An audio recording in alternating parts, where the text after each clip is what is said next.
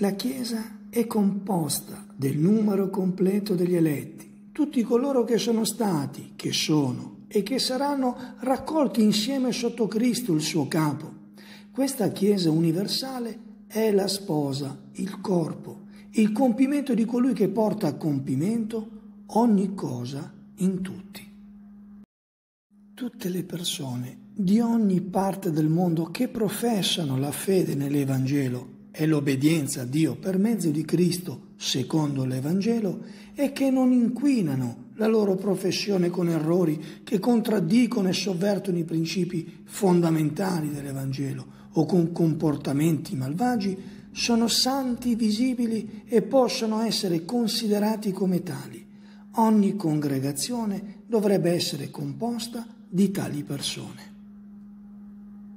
Il Signore Gesù Cristo è il capo della Chiesa, per ordine del Padre. Egli è investito in modo supremo e sovrano di ogni autorità per la vocazione, l'istituzione, l'ordinamento e il governo della Chiesa.